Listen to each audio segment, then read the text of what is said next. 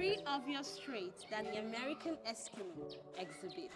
The American Eskimo is very intelligent, but also very stubborn. They have a very high tendency to do the opposite of what you tell them to do.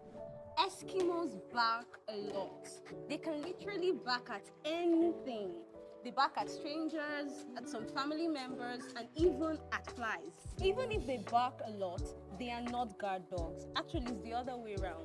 The Eskimo will not guard you, you would actually guard them. So, have you noticed these traits in any American Eskimo that you own or that you have seen? Share your story with us in the comment section.